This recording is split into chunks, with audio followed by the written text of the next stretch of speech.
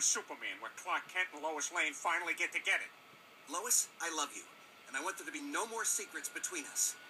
I am Superman. Oh my god. The only thing that can kill me is kryptonite, or latex, or lambskin. What about polyurethane? All that, all that stuff.